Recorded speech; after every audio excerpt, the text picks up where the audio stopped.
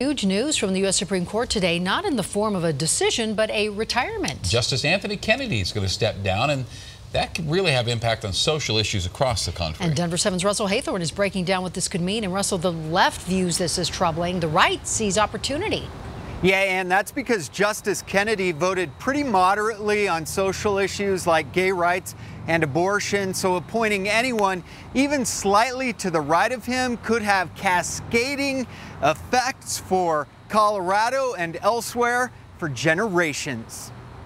51 years ago, Colorado became the first state in the nation to legalize abortion under the leadership of Dick Lamm.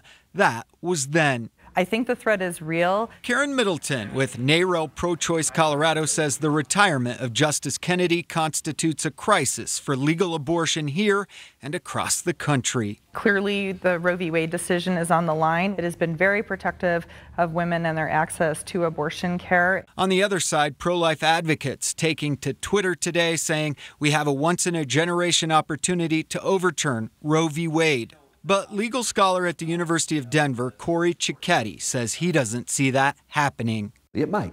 It's impossible to predict these things, but I don't think it's a slam dunk. Instead, Ciocchetti sees a conservative bench taking action on a number of other social issues more immediately, like affirmative action. Affirmative action programs in higher education could die. He also says efforts by the left to abolish the death penalty will die as well. I think that'll stall. Middleton is calling on all who are pro choice to stop an appointment before the midterms. Our push is going to be that the U.S. Senate should not confirm a new justice until after the elections. But highly unlikely, according to the experts. So when it comes to, you know, Congress and the president, they don't see eye to eye a lot. But when it comes to this type of issue, they're best buddies. Yeah, I think the nomination will come out soon. This thing will be done in, you know, August or September. Russell Haythorn, Denver 7.